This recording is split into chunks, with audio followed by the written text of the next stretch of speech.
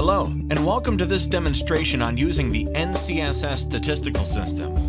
In this video, we'll show you how easy it is to perform a statistical analysis with NCSS.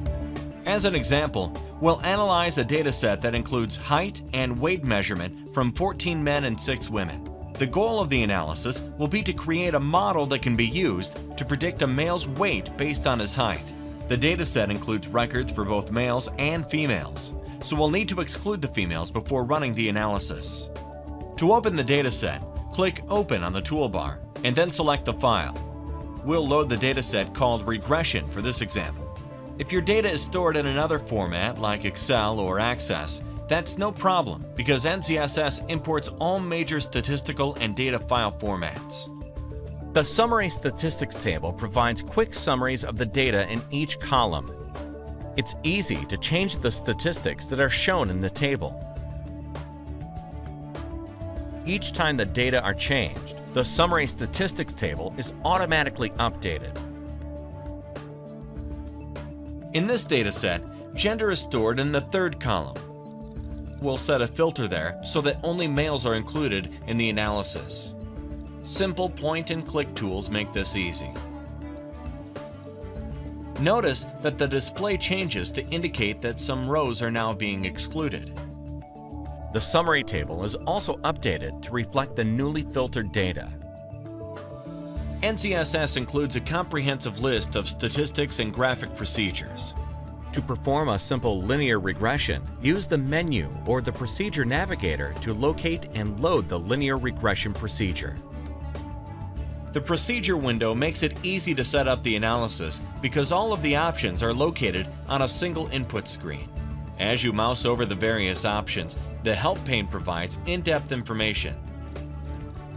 If you'd like more help, click on the Help button to display the procedure documentation, which contains technical details and examples. Each procedure in NCSS is fully documented. Since our goal is to predict weight based on height, we'll select weight as the dependent variable and height as the independent variable. By default, all of the reports and plots we probably need are already selected. But let's go to the Plots tab to edit the Y versus X scatter plot. We'll choose new plot colors and include prediction limit lines. Notice that the format window displays a sample graph so we can see how each option change affects the plot. With the option specified, click the green Run button to perform the analysis. The report is displayed in the Output window. Use the navigation pane to quickly jump to various selections in the report. The Regression Estimation section of this report states the model we can use to make predictions about a man's weight using height. The scatter plot gives a graphical representation of this relationship.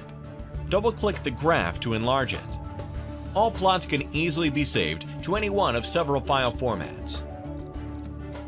You can also save the entire report or easily cut and paste individual sections into a document or presentation.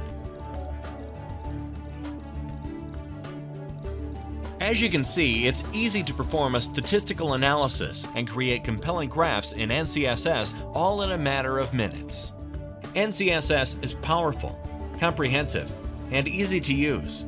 And if you ever have any questions, our support team of PhD statisticians will be happy to assist you. To purchase NCSS or to obtain a no obligation free trial, visit ncss.com. Thank you for watching.